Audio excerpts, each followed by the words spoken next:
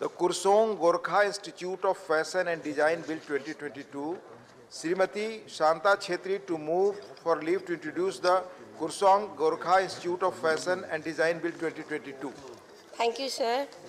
I move for leave to introduce the bill uh, to establish and declare the institution to be known as the Kurseong Gorkha Institute of Fashion and Design to be, to be an institution of national importance for the promotion of quality and excellence uh, in education, research, and training in all the disciplines relating to fashion technology and design and for matters concerned therewith or incidental thereto.